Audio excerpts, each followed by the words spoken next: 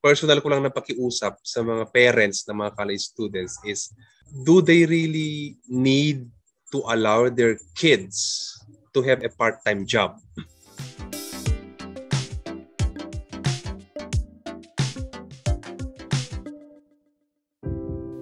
Isang malaking challenge para sa ating lahat, hindi lang ng mga Pilipino, kundi maging sa iba't ibang panig ng mundo ang tinatawag na virtual education, kung saan ang ating mga estudyante ay nananatili sa kanilang mga tahanan at nag-aaral sa pamamagitan ng virtual learning. Last time, pinag-usapan natin yung challenge sa mga estudyante. Kumusta naman itong hamon na ito sa mga magulang na nagpapaaral sa kanilang mga anak sa pamamagitan ng virtual education?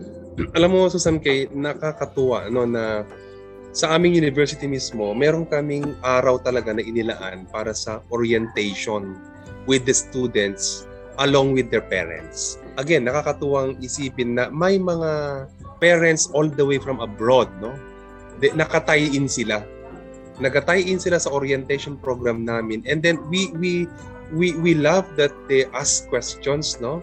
Which is something positive kasi siguro nung physical class, dahil nasa abroad sila, how can they attend, right? But now, mm-hmm.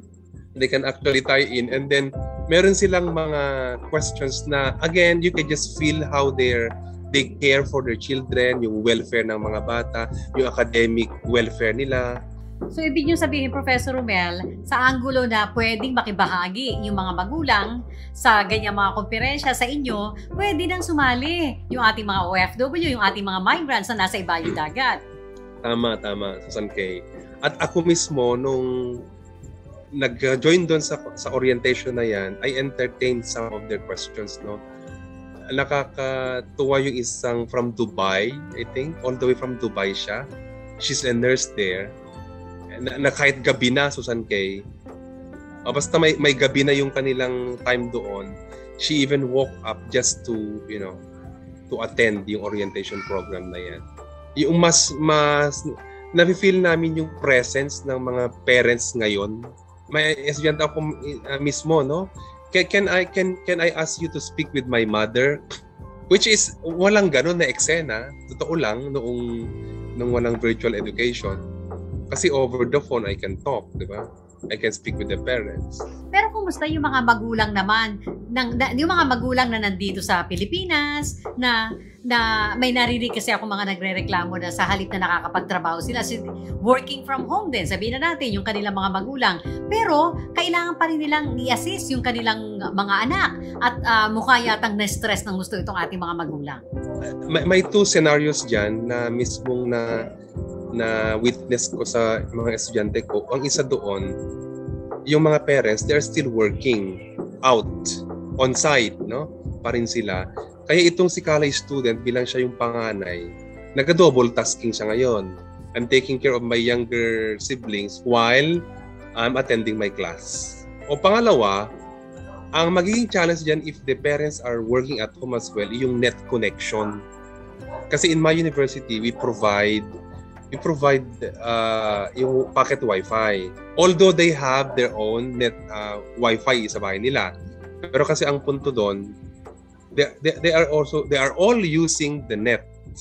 I mean Wi-Fi. So yun yung nagiging challenge naman sa mga iba kung paano may ma, ma-distribute well yung kanilang Wi-Fi connection. Pero na, kayo po sa sa academe, no, na-acknowledge nyo talaga yung hirap din ng mga magulang ngayon na virtual education dahil uh, iba yung sinasabi ninyo kanina na kinukwento ninyo na uh, actively nakakapag-engage ngayon yung ating mga OFWs o your migrants sa pamamagitan nga ng uh, virtual conference na yan, nakakasama ninyo. Pero kung actual nakasama nila sa bahay, Professor Romel, uh, hindi kaya stressful din yun sa maraming mga magulang? Actually, isa yan sa mga uh, personal adjustments ng mga tao sa loob ng bahay. Apart from the personal adjustments, yung kanilang work adjustments, yung kanilang yung sinasabi namin kanina na na, na, na organizational adjustments, no? Uh, dahil uh, nagiging stressful on the part of the parents kasi they they cannot separate anymore yung kanilang work no? Sa kanilang family responsibility no? Yun yung mga challenges na pinagdadaanan ng ng mga parents pa rin hanggang ngayon. Okay? Instead of you know leaving their work sa kanilang work area ang tendency is they are bringing their own work sa bahay. Eh meron silang mga other roles pa na kailangan gampanan for their children So there, there's like added stress on their part. So kayo po, uh, ano naman yung maipapayo ninyo sa ating mga magulang na makayanan yung kanilang mga pinagdadaanan ngayon? Kasi first time nga naman, sabi ng ibang magulang, para rin daw silang nag-aaral kasama nung kanilang mga estudyante sa elementarya. Mm-hmm.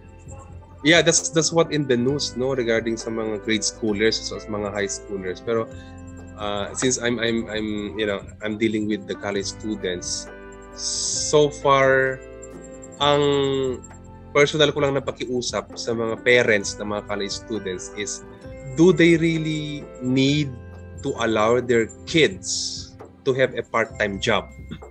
Oh. Uh-huh. Yun, yun yung sana, oh. Yun yung sanang, yun yung gusto kong itanong sa kanila. Why these college students are taking up their part-time jobs? Kasi that's really a big distraction sa kanila. So sa mga parents, kailangan bang talagang i-allow nila yung kanilang mga anak?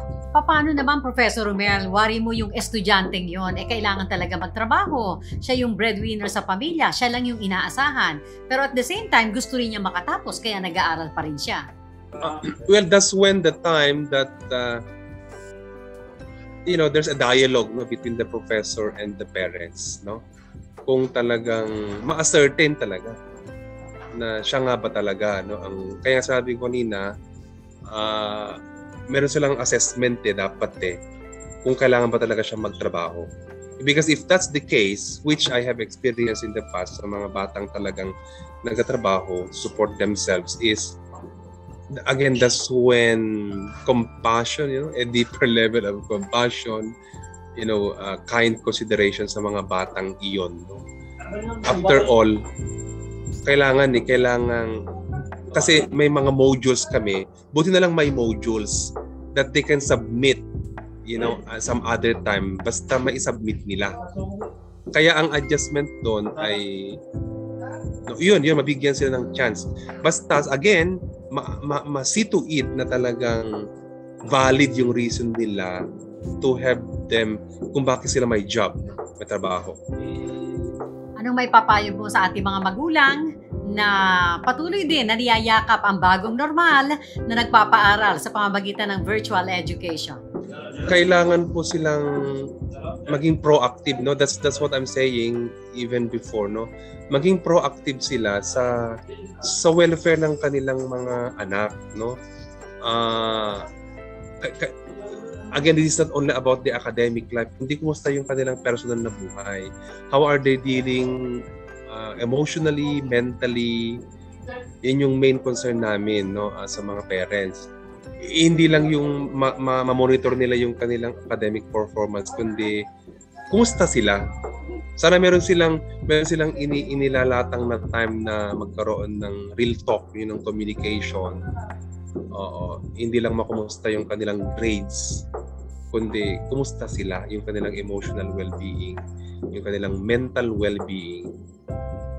Oh, kasi nga kahit kahit uh, Dean's Lister yan halimbawa or graduate uh, graduate with flying color sabi nga nila kung you know may pinagdaanan na pala yung anak nila So malaking challenge, malaking uh, uh, tulong ng mga magulang sa kanilang mga estudyante na sila ay makapagpatapo sa ilalim ng virtual education na tinatawag. Thank you very much, Professor Romel Agbayani. O paano po, talagang hamon nga ito sa ating mga magulang. Mahirap magpaaral sa ilalim nga ng virtual learning na tinatawag ngayon. Pero wala tayong choice kundi maging flexible na muna at uh, handang yakapin itong tinatawag na bagong normal. Mahigit 24 na taon nang naglilingkod sa ating mga OFW at kanilang mga kamag-anak saan man sa mundo.